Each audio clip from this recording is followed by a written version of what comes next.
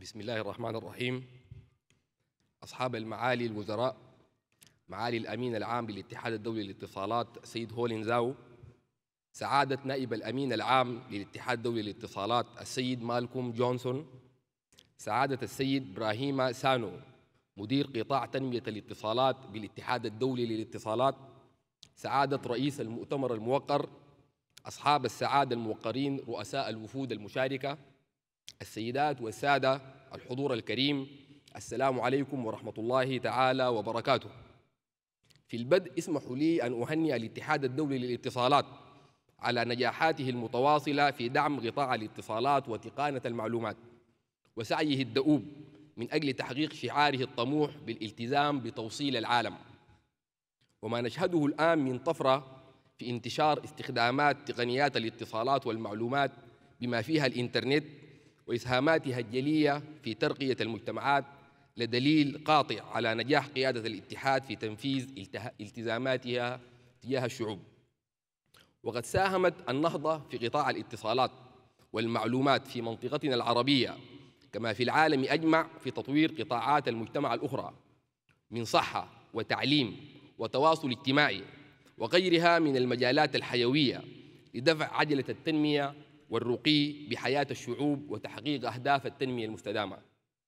السيد الرئيس أصحاب المعالي السادة المؤتمرون تواجه كثير من دول القارة الإفريقية والدول النامية العديد من التحديات في سبيل إنفاذ أهداف التنمية المستدامة. رغم المحاولات الجادة والمتزايدة في التغلب على تلك التحديات فكثير من الدول النامية تعاني من شح خدمات السعات العريضة خاصة في المناطق غير ذات الجدوى الاقتصادية. والدول غير الساحلية وتعاني أيضا عدم توفر الاستراتيجيات الخاصة بالأمن السيبراني. وحماية الأطفال على الخط. والاتصالات في حالات الطوارئ وغيرها.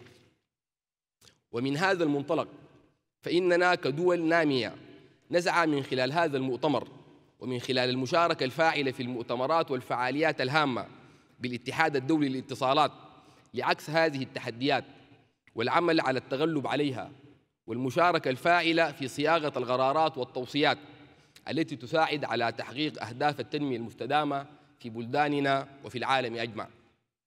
والسودان سيد الرئيس كان حضورا في جميع مناشط الاتحاد ومساهما بفعالية في الوصول إلى قرارات توافقية بين الأعضاء بما يدعم مسيرة تنمية قطاع الاتصالات والمعلومات وقد استضاف العديد من الفعاليات الهامة.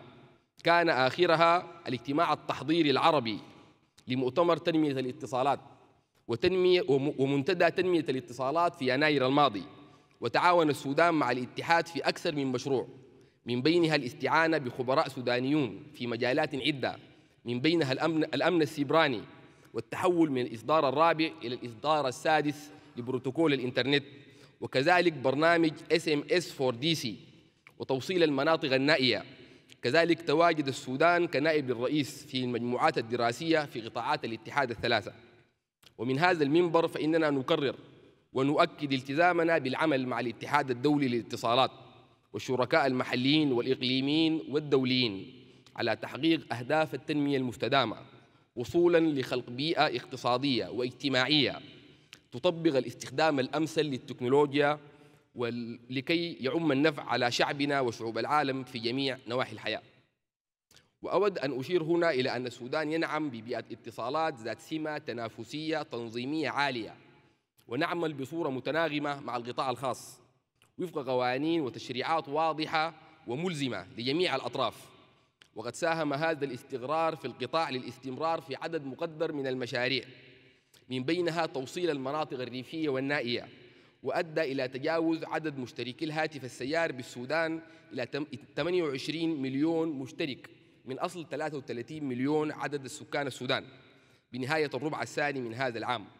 ونسبة تغطية بلغت أكثر من 88% من المساحة المأهولة بالسكان البالغة 2 مليون كيلومتر مربع.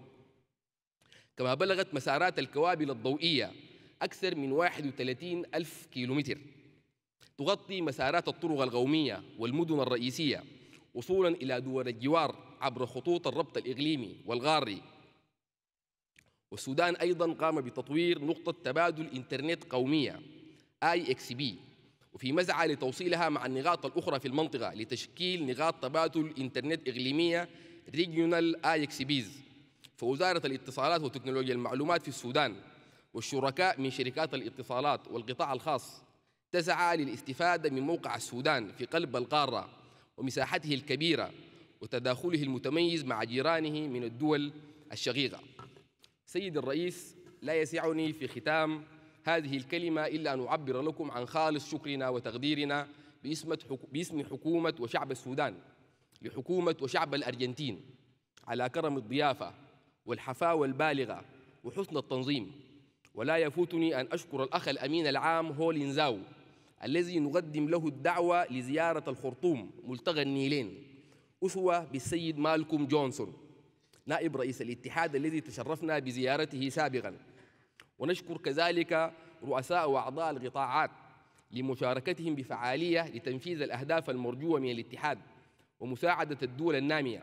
كما أنه من دواعي سروري أن أتقدم إليكم أخي الرئيس بالتهنئة لاختياركم لرئاسة هذا المؤتمر الهام. متمنين لكم النجاح والتوفيق. وقبل أن أختم أود أن أشير إلى قرار الإدارة الأمريكية برفع العقوبات الاقتصادية عن السودان. هذا القرار الذي سيبدأ سريانه يوم الخميس المقبل وسيكون له انعكاس كبير على تطور قطاع الاتصالات وعلى إسهام السودان مع الاتحاد الدولي للاتصالات في تنمية القطاع في إفريقيا والعالم العربي. والسلام عليكم ورحمة الله وبركاته.